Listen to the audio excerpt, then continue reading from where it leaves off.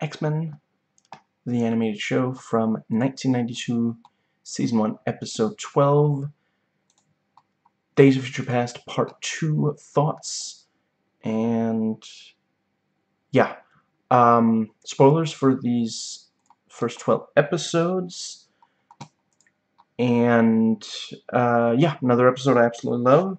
Make sure you support SAG-AFTRA. There will be links in the description box.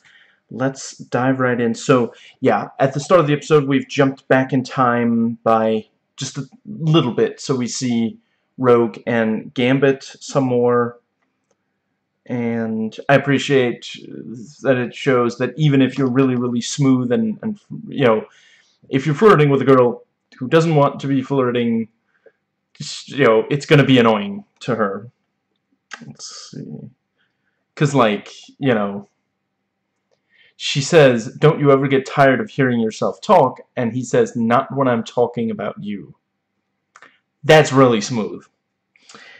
But, you know, she, she doesn't want to be flirting with him, so she doesn't like it. And that's, you know, that's a good message for the, the kids.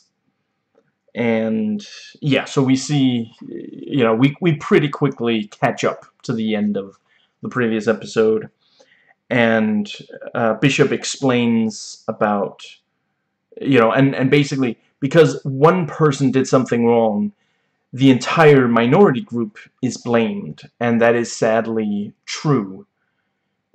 You know, we, we saw it in the, the during World War II, America was fighting Japan, and they assumed that every Japanese American would be on the side of the Japanese, so they put them in internment camps.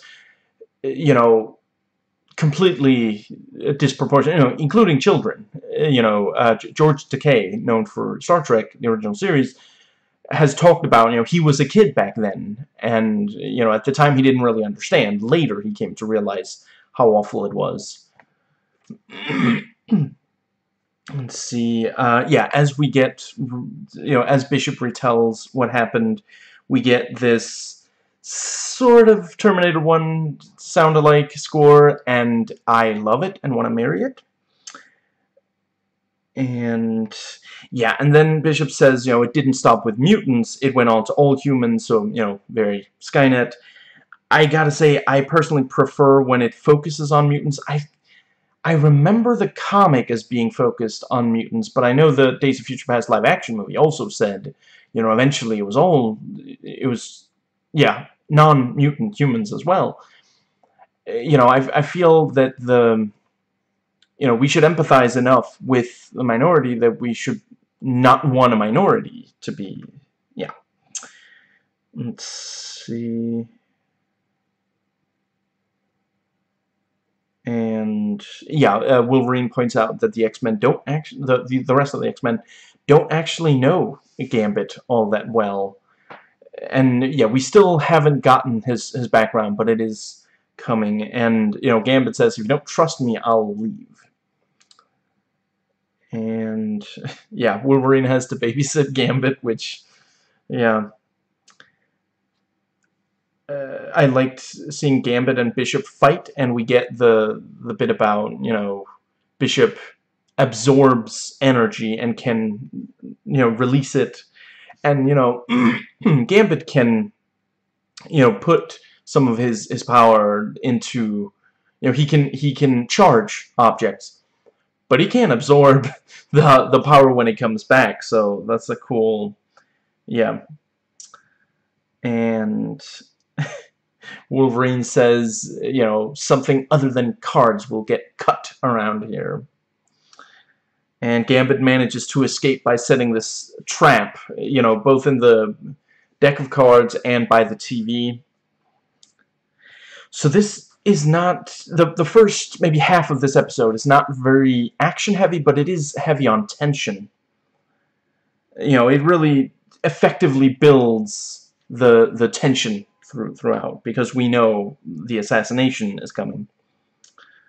Let's see. We'll bring down the House and the Senate too.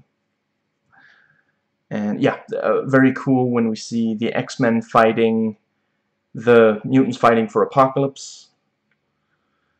you know, I, I quite appreciate, you know, we see how much trouble they have with Blob, and it ends up, you know, I think it's Wolverine who gets him thrown into the water, in the pool, and Storm freezes it to ice, and it's like, you know, no matter how strong you are, like, ice is pretty difficult to, to get out of like that. This kid's crying. Uh, somebody do something. yeah, I don't think Wolverine would be very good with, with crying children. And looks like he's running for Congress, and we see that it's Mystique posing as Gambit, who's the assassin, and because, you know, made sure that there was the witness, which I appreciate, some stories forget that there has to be someone witnessing it. You know, if, if one person does a thing to someone who doesn't survive it,